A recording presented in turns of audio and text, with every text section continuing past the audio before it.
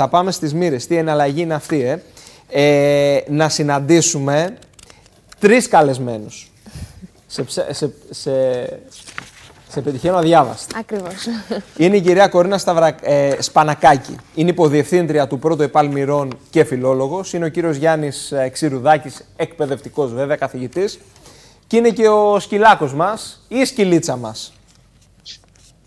Σκυλίτσας, σκυλίτσας. Σκυλίτσα, Τη, βλέπετε; καλησπέρα, καλησπέρα και ευχαριστούμε για τη φιλοξενία. Δική μας η χαρά, πώς είστε, τι κάνετε, τι όμορφη εικόνα είναι αυτή που αντικρίζουμε; Είμαστε πολύ καλά.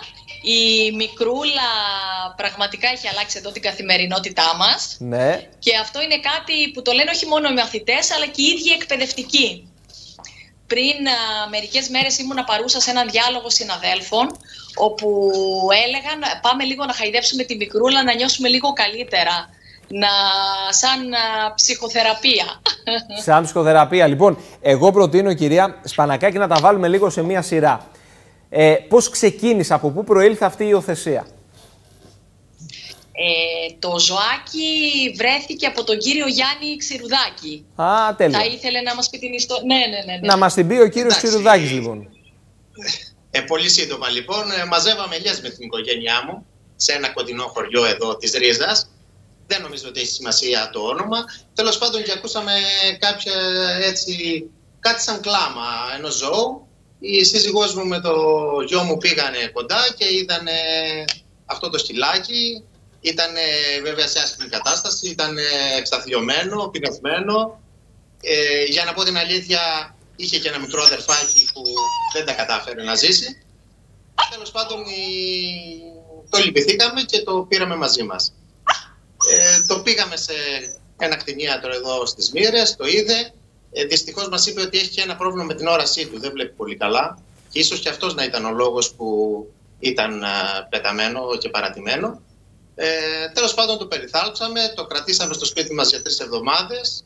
Ε, αλλά επειδή έχω κι άλλα σκυλιά στο σπίτι, σκέφτηκα ότι θα ήταν μια πολύ καλή ιδέα να το φέρουμε εδώ στο πρώτο ΕΠΑΛ Μυρών, στο σχολείο που εργάζομαι. Έχουμε ένα χώρο περιφραγμένο πίσω από το θερμοκήπιο, εκεί που είναι το εργαστήριο γεωπονίας του σχολείου και μπορώ να πω ότι ε, ούτε εγώ δεν το περίμενα ότι θα το καλοδεχόταν τόσο καλά και οι συνάδελφοι εκπαιδευτικοί και τα παιδιά. Μιλάμε για μια κίνηση βέβαια με πολλαπλά μηνύματα, γιατί από τη μία είναι η υιοθεσία, από την άλλη η εξοικείωση των ε, παιδιών με τα ζωάκια, με τα κατοικίδια. Όλη αυτή η αγάπη, αλλά και το τι παίρνουμε κι εμείς από τα ζώα, είναι μόνο μερικές από τις πτυχές που αναδεικνύονται μέσα από αυτή την πολύ απλή κίνηση που κάνατε. Δεν χρειάστηκε στα παιδιά να πούμε απολύτως τίποτα. Όταν ε, ο κύριος Ξηρουδάκης την πρώτη μέρα που έφερε το σκυλάκι στο σχολείο και αρχίσαμε να το ετοιμάζουμε το σπιτάκι του, τα παιδιά μόλις κατάλαβαν περί τίνος πρόκειται, μόνα τους ε, αγόρασαν ζωοτροφές, ε, έφεραν και συνεχώς βρίσκονταν εκεί στον περιφραγμένο χώρο για να το ταΐσουν, να του δώσουν το νεράκι του και να ενδιαφερθούν για την καθημερινότητά του.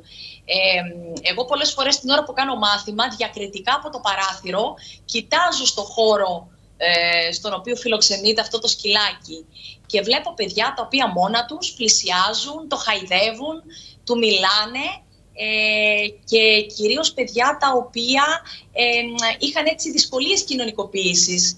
Και όμως παρατηρώ ότι αυτά τα παιδιά έχουν ανοιχθεί πολύ περισσότερο με τη βοήθεια του ζώου. Μια σπουδαία κίνηση που εντάσσεται σε αυτό που λέω συνήθως στην εξωστρέφεια των εκπαιδευτικών που κοιτάζουν και πέρα από τα στενά όρια μιας σχολικής μονάδας ένα πολύ μεγάλο μπράβο. Ναι, ναι. Φαντάζομαι η επόμενη μέρα και τα επόμενα μαθήματα μέχρι το τέλος της σεζόν και όχι μόνο θα είναι πολύ καλύτερα με καλύτερο το κλίμα.